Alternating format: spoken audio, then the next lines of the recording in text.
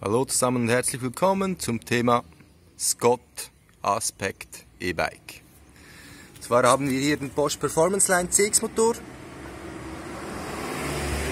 Wir haben einen 500 WH Akku und das Bosch Intuvia Display.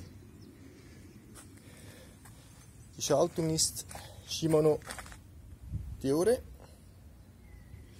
und wir haben eine RockShox 30 Federgabel. Die Bremsen sind BR von Shimano und am Lenker haben wir noch einen Knopf, um die Federgabel zu blockieren. Der Wechsler ist ein SLX und ich zeige euch ganz kurz das Display.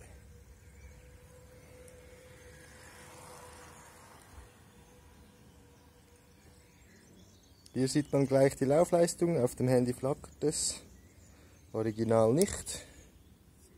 Hier kann man über die Infotasten alle weiteren Infos abfragen.